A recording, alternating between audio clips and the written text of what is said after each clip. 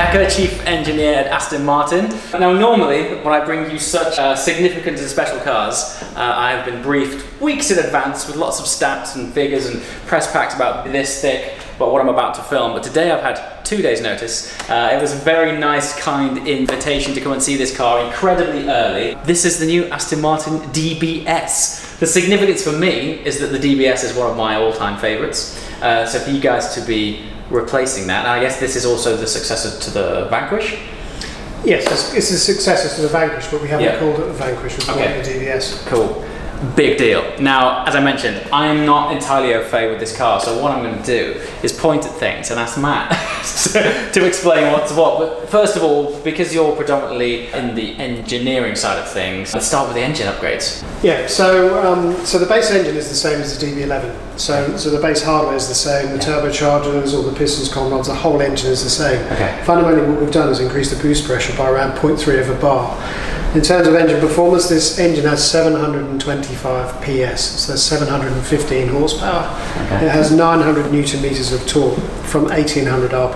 So if you compare that to the DB11, DB11 is 600 horsepower, 700 newton meters of torque. So it's a vast increase in performance, in Huge. engine performance. So, with that talk, we were briefly speaking earlier, you've also had to make gearbox adjustments and upgrades. What's happened there? So basically, the DB11 gearbox has a limit of around 700 newton meters of torque. Okay. So to be able to release all this engine potential, this power potential, we've had to change the gearbox to the latest generation of ZF um, ZF HP 95 gearbox.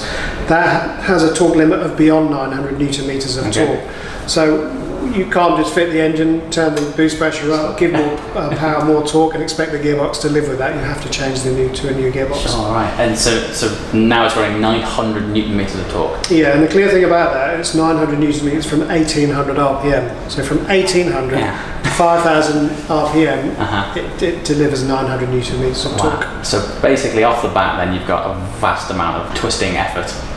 Uh, exactly, yeah, you've got a lot, Yeah, lot, lot of torque huge. that you have to try and manage, and you have to manage that through some of the suspension I items as well. Okay, well, talking of suspension, I assume there's upgrades there. Yeah, so we're talking about sort of front to back, I mean, Uh-huh. um, the suspension itself has. So we, we call DB11 our GT car, we call Vantage, which you've had experience with both Uh-huh. cars now, is our sports car, and this is our Super GT car. So it's a DB11 on one. Sure, Um, yeah. So, so basically, the Super GT car, in terms of dynamic character, sits smack between a DB11 and a Vantage. So, in terms of the increase in spring stiffness, the increase in anti-roll bar stiffness, is not as extreme as Vantage, but it's uh, it's it's more extreme than DB11. This is basically our brief for the car was to create something that's more engaging to drive than DB11. It's not to say DB11 is not engaging to drive. This has just got more dynamic character about it. Quickly back on the topic of the gearbox, have shift speeds increased? No, so shift speeds are um, comparable or as, Okay. as, as equal to the, Yeah. to the Vantage. So it's shifting gear as Okay, fast cool. as it can for this type of technology. Yeah. Downforce, though, again, quite a step on from DB11. Run us through that. yeah, so in terms of, you know, you can't create a car. So some of the vehicle performance stats of this car, just run through those and then Sure. that will explain why we need this level yeah. of downforce. So VMAX is 211 miles per hour. Okay. 0 to 60 is 3.3 seconds. 0 to 100 miles per hour is 6.4 seconds. Wow. Incredibly Okay. fast. Not hanging around. Because of the amount of torque the car has as well, is the in-gear performance in fourth gear from 50 to 100 miles per hour is 4.2 seconds.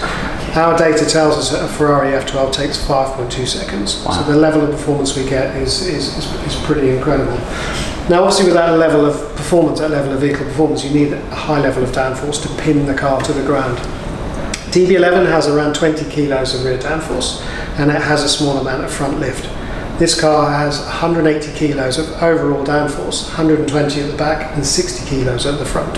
So a substantial change there. Yeah. And, and how we achieve that is if you look at the, the kind of the design of the car, it's a very um, kind of evocative design, it's a very muscular design, and it's, it's, it's form and function. So the form, so into these nostrils here, mm-hmm. they're there because we need the cooling. You know, the big mouth we have on Sure. the front of the car Yeah. is there because we need the cooling.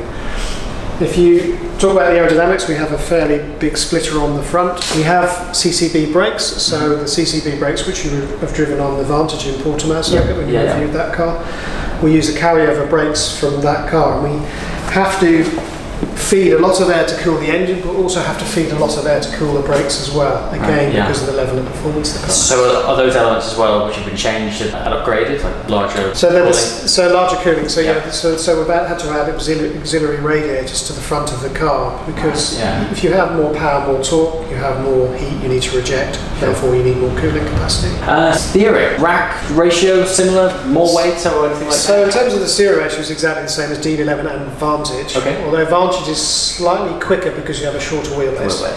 So, but in terms of you compare this to DB11, it's exactly the same steering ratio. You get a feeling of a faster steering ratio because the roll angle of this car is less Sure. than a DB11 is. It means the kinematics on the front of the car, you're Yeah. getting less toe out in, as the wheel goes into bump, which means that the steering is much faster in response. Fabulous. So let's walk around the back. We're gonna show you um, a another unique feature on this car, which is the wing that is uh, uh, fixed. So in terms of, um, so DB11 used what we call aero, aer- aero blade. And what that does is it feeds air, so it starts at the front of the car and all of the CFD analysis has been done to basically remove um, high pressure from the wheel arches. It blows air down the side of the car. Even the um, wing mirror um, uh, supports are designed through CFD to feed this C-pillar air. So of- this is the like ex- aero exhaust. It's like an air exhaust, and what it does is effectively it spits air up to about a metre above the height of the car, Okay. and then it reattaches with the airflow coming off the diffuser as well. So what we managed to achieve with this car is a significant increase in downforce, but for exactly the same drag. So we haven't cool. increased drag; we've just Nice. increased the downforce dramatically. Fabulous. So while we're at the uh, business end, talk us through the exhausts because I've noticed we've got quad pipes now.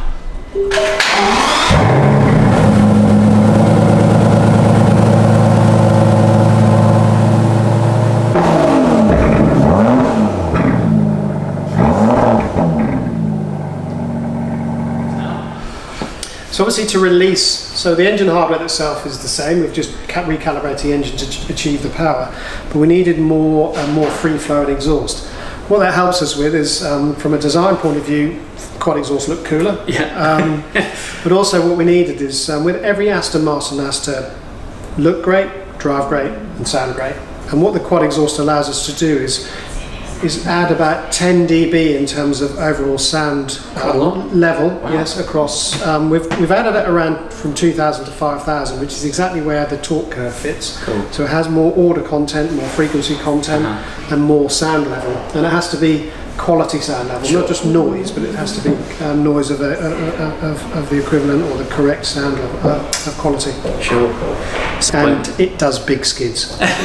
See, there's so four things you've mentioned, which I think is what summarizes this brand. Looks good, sounds good, drives good, Yeah, skid's good. skids good. Yeah. That's it. That's the formula for uh, the future of Aston Martin these days. Yeah. I can't wait to drive it. Yeah. Fantastic, man. Brilliant, thanks. Okay, as mentioned, we've just been talking with Matt Becker about why it drives so well. Now we're here with Miles Nurnberger from Aston Martin to tell us why it looks so good. First thing to do, we talk about one of the big things that we do at Aston Martin Design that's different. We don't talk about, we don't have Russian dolls, so Sure. that it's all about the character of the car. So this is what we call our rogue, our brute in a suit, and that really, that's what drives all the aesthetic behind the car. So DB11 is our gentleman, Vantage is our hunter, nose low to the ground, and this is our rogue. So when I say brute in a suit, it is quite literal. If you imagine these are the creases in your suit, and these are your muscles. So it is like cool, we're, okay. we're literally putting it in there. There's Sure. this muscle breaking out from the and, I, and obviously in this colour, actually, it really tells It that. really it really tells yeah. that story quite well. Honestly. At the front of the car, we've got like the biggest grille. I was going to say that grill. I mean, so as I mentioned earlier, this is the first I've heard or seen of this car. Uh, walked in and that grill almost consumed my head. Like Yeah. it's so huge. Uh, aesthetically awesome. Practically, lots of airflow. Practically lots of airflow. So with the engine we've got in here, the power and the torque delivery we have. Basically, the requirements for airflow are, you know, it is practically the front of the car. It really is. Um, so we have all of that. It obviously gives it a certain character as well, menacing character. You've got this real full width Yeah. sort of uh, strength across there. And obviously, when you get to the bonnet, you need to get that all that air that goes in. You've got to get out. So a lot of it goes under the car and is managed um, very cleverly through that to get the downforce. But it also has these you know, heavy breathing nostrils on, on the Menacing. menacing. I bet when you started sketching the lines on this, you're Yeah. like, this is going to be ridiculous. yeah, yeah. I mean, it's to do that. It's supposed to be menacing. So D, it's the bad. It's the bad boy of the bunch. Yeah. Um, you know, so many of the rules that we put into DB11, this one purposely breaks sure. um, Fantastic. in, in every aspect. And obviously, we get a little things like this as well. Uh-huh. So we get um, Nice. a Superleggera badge. Very cool. Um, two reasons for doing that. One, it just looks. Looks wicked. it There's nothing wrong for making it look awesome. Yeah, absolutely. It looks awesome, but it also, in the old days, it used to denote the type of lightweight construction that we used to use on the cars. Today, the lightweight construction we use is carbon fibre. So um, it was a great way to bring back a beautiful, beautiful badge. And obviously, proudly there on the bonnet, uh, Fabulous. next to that. So, So- that's the front of the car. front, I mean, the front, I could look at it for hours. I mean, if if there's one thing, you know, Aston Martin have always been synonymous with, it's making stuff look amazing. So uh, that's ticked that box. Now, walk me down the side. Massive vent here. Is, is this Yeah, to allow air pressure? Yeah, so this- the wheel. got a lot of aero on this car hidden away, and we actually have the. We're very unusual in that we have the aero team based in the design studio. So at any one time we've got about three of their guys in. Nice. So working. Okay. So this is a whole system. So there's a there's an aero system that Matt might have talked about underneath the car. Uh-huh. This one on the surface. So all the high pressure air in here vents out, Yes. spins. Interacts with the bottom of this mirror and Okay. fires into that vent there. Which then pops out from this like Yes. aero exhaust which you've got here. Yes. Which is super cool feature. And that basically is like a blade of air that on this car is over a meter high out the back of the car and it basically bends at high speed. So this car has um, no drag penalty over DB11 Yeah. at all, but it has a significant 100 kilos more downforce at the rear. That's step on. Yeah. And it looks so subtle, you would never believe it. To look at this and think Yeah. you've got another 100 kilograms of downforce Yeah. is madness. So it actually exceeds GT12. That's Is it GT12. really? Yeah. yeah. It just has a wing on it like this. Yeah, yeah, exactly. exactly. So you can see you can see the step change that the Yeah. company is making in how it integrates aero and how much it can get out of it because Fabulous. you wouldn't say that Sure. just no, absolutely not. Yeah. Uh, I can see straight away lots of use of carbon fibre. Yeah. Um, is that is that a, again a mix of awesomeness and lightweightness? it's, it's exactly that. And on this car, we actually use um, what we call black tinted carbon fibre, so it gives it a much more subtle thing. As you look across it, it just appears gloss black, and then the carbon weave. Do you know what? Now you've said that. Yeah. Earlier on, I looked at a panel. I was like, I'm sure that was carbon fibre. Yeah. really, You know, yeah. it is cool. Um, remind me again of the name of this colour. This is satin xenon grey. Satin xenon grey. I'm not sure how it looks on camera. At certain angles here, it looks like satin black, and then over the back here, where there's more spotlights on it, it's basically like sort of graphite silver. Yeah. Paint's fantastic and menacing. Like, Yeah. To the Looks like it's made out of a solid piece of graphite. Really does, something like right? Yeah. So the car's a bit wider as well, just to get that bit more stance. So Mm-hmm. it's 15 odd millimeters in the rear haunches, Okay. 10 or so in the in the front. So it just gives that punched, Yeah. more punched look. And on the back, we have. Like with our more sporting cars, so Vantage and this, we've got this single graphic across the back, whereby Vantage is more playful. This one's Yes. a little bit more Like a sweeping more sober. vibe going. Um, yeah. and And quad obviously- exhausts. and quad exhaust. And, and why is quad exhaust? Because they look really cool. they look really cool, um, and they make a great, Great noise. sound. Yeah, really great noise. Um, and this, I mean, the job the guys, the sound engineers we have have done is is brilliant. Um, Yeah. It's it's a natural thing with turbocharged engines to get that that sound quality is very difficult, but Yeah. this absolutely wails. I mean, I've driven it on track as well, and it was. Already, I can't wait. Yeah, I yeah. cannot wait to drive it's, this thing. It's Seriously. so fun. Is so fun on track. So you've been working on it for about two years now. Yeah, roughly two years. When when this project came up, uh, excite. I mean, working on the next DBS, like that's huge. Yeah. The manual one, the previous generation manual one. there's Something about that car, I just think it's fabulous. When I saw the teaser of this online, I thought, no way. And now I'm here. Yeah, it's become it quite a famous car, really. That, Yeah. Particularly that manual one, and, Absolutely, and yeah. we've seen the values, Yeah, the, the second-hand values rise considerably. And and you see them around. It's funny how many pop up around London all Yeah. of a sudden. Yeah, it's yeah. a really cool car now. Iconic car. So yeah, I, I think you know day one when we thought you know we knew that we were going to call this car DBS very very early on. It was you know that taking that as I said, it's it's this fun bit of almost taking everything that DB11 stands for and just being a bit cheeky, breaking the rules, Yeah. pumping it up that bit more, giving it more power, more downforce, more this. Um, This is always a hard question, but anything that you're the most proud of or excited about? I, it, it's often The grill. it's the grill. It's the it's, grill. it's the grill, and you know um, when you see the prototypes um, that's testing on the on the back roads around Gaydon, when one comes t- towards you, it has a certain element of authority about sure it does, yeah. and it almost makes you. The first time you see one, it almost makes you sit up in your seat You're in the car, like, this?" yeah. What is like this? that. So I think Out you know, way. It's always fun to um, evoke those emotions. Yeah, super cool. Well, I believe I'm having the grace and fortune to drive one of these soon, which will be very cool.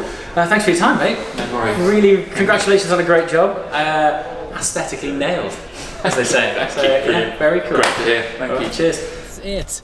So there you have it. I'm now sat in the interior of the all-new Aston Martin DBS. Never did I believe those words would be coming out of my mouth again. It never actually crossed my mind that Aston might relaunch the DBS. I just thought it was the Vanquish and then something else. But here we are. And for me, I've always had a very special place for the original DBS and still is to this day one of my favorite Aston Martins. So to sit in the new one and bring it to you guys firsthand is an absolute honor.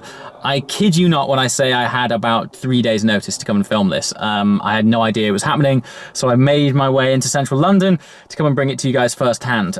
If the video isn't doing the sculpture on this thing justice, which I really hope it is, let me tell you, I cannot wait for you guys to see one of these in reality. Aston have done it again. The sculpture is out of this world. Obviously, can't give you driving impressions until a few weeks' time, but yeah, I think it's pretty safe to say that this is going to be a very special road car. Uh, questions below. I'm going to eventually interact with this car for real on a road when it's rolling. Uh, give me your questions below in the comments because I'll try and find out as much as I can for you.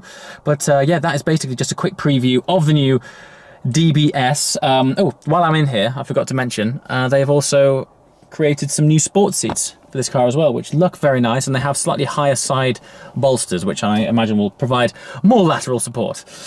As always, guys, thanks for watching, and I shall see you next time. Ciao!